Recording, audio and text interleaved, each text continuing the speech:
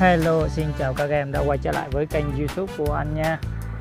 Thì uh, đây là một con xe chở động vật, chở thú đây. Các em này. À, Nhìn ra, nhìn ở ngoài này thì chúng ta thấy nó chở được hai con. Đó là con hổ và con sư tử trong cái xe này. Các em ạ Bây giờ chúng ta sẽ mở hộp lá ni lông, lá bì ra trong chiếc xe này nha. Thì chúng ta sẽ xem chi tiết bên trong chiếc xe này. Ha rồi, ok, bây giờ chúng ta sẽ mở nó nào.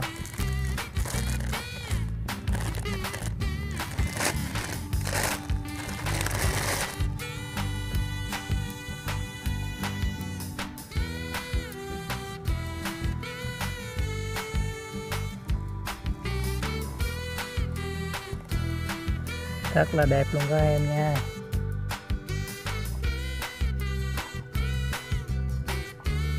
Chúng ta coi hướng ngược lại này. Thì à, xe thì có một cái lồng màu trắng này các em này. Và bên trong có hai con động vật. Và bây giờ chúng ta sẽ mở cái lồng này ra nha. Lồng này thì mở như thế nào nhỉ? Chắc phía sau này nó có một cái gì để cho đó chúng ta mở ra.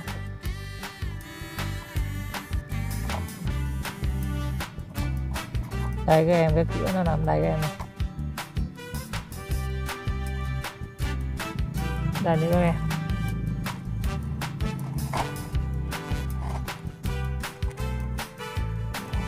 Cái cửa là nằm đây.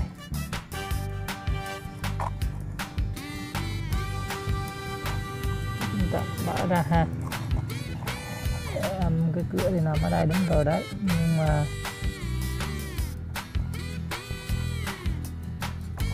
đấy. Đấy.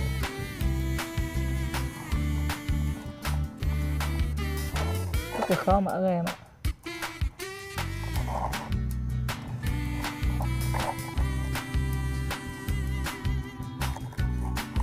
Đấy. nó mở ra được rồi, cái em này nói chung là cái này nó màu trắng thì chúng ta rất là khó nhìn thấy những cái khớp để mà chúng ta mở ra.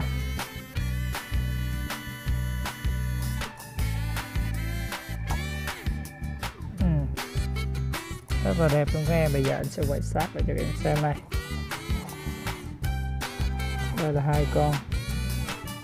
Động vật của chúng ta. Đây là một con sư tử này các em này một con hổ nha. Bây giờ mình sẽ lấy con sư tử ra trước.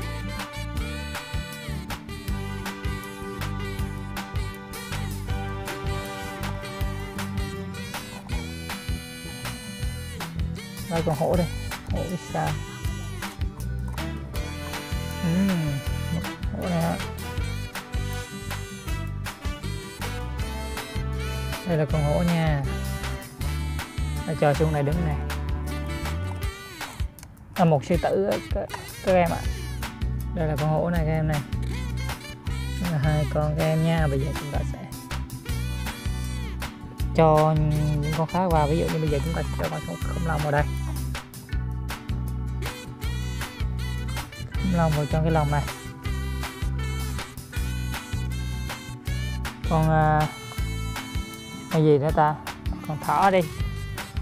Khủng long thỏ gì đó đi cho vào đây. Nhìn cũng được các em ạ. Bây giờ chúng ta sẽ gài nó lại nha. Chúng ta sẽ gài cái lồng lại này.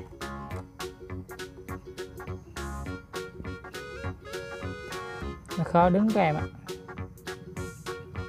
Không lông gì ngã lên ngã xuống vậy rồi bây giờ chúng ta sẽ gài cái lại này.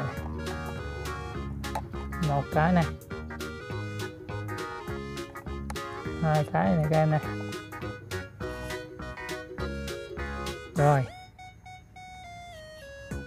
Ba cái này, bốn cái này.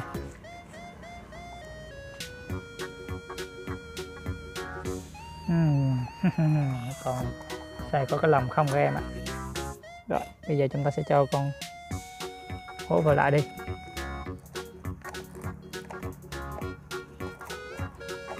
Uhm.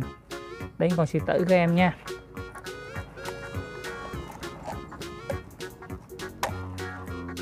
Rồi. Lại cái lòng lại các em.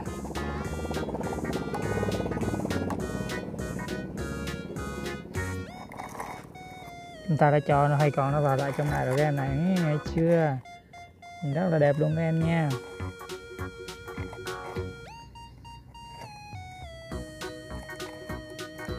Rồi, video của anh đến đây là hết. Xin chào tạm biệt và hẹn gặp lại các em trong những video lần sau nhé.